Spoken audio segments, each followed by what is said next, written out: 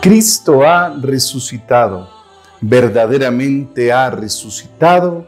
Aleluya.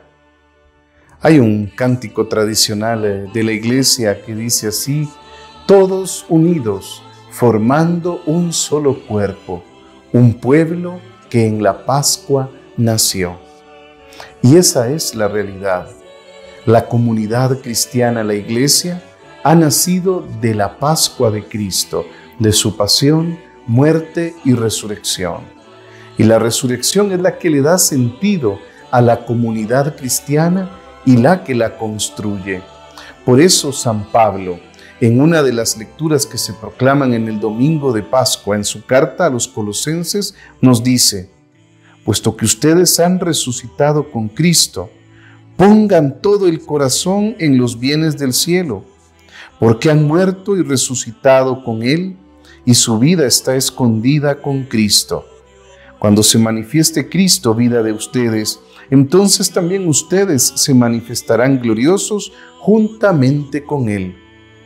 Si bien es cierto, hemos escuchado en las apariciones de Jesús resucitado que la roca del sepulcro fue movida y que el sepulcro, la tumba de Jesús está vacía, la verdadera prueba de que Jesús ha resucitado es que aquellos apóstoles que habían huido, se habían escondido, lo habían negado, se convierten, tienen una vida nueva.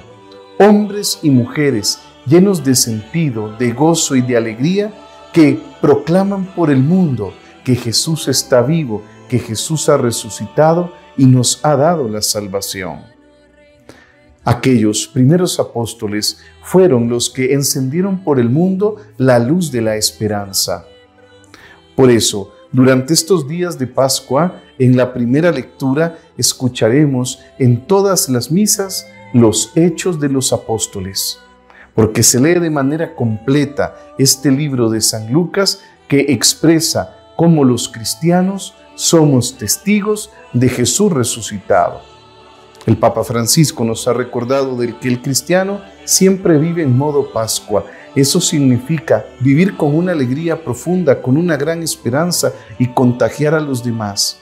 Porque la vida tiene un sentido, un sentido en Dios. Y Cristo Jesús nos ha manifestado que el amor es más fuerte que la muerte y que la vida vivida con amor y alegría da luz y esperanza a todos. Oremos recordando algunas estrofas de la secuencia de Pascua que en estos días de esta semana, la semana primera de Pascua octava, escuchamos. Ofrezcan los cristianos ofrendas de alabanza a gloria de la víctima propicia de la Pascua, Cordero sin pecado que a las ovejas salva, a Dios y a los culpables unió con nueva alianza Lucharon vida y muerte en singular batalla, y muerto el que es la vida, triunfante se levanta. Primicia de los muertos, sabemos por tu gracia que está resucitado, la muerte en ti no manda. Aleluya.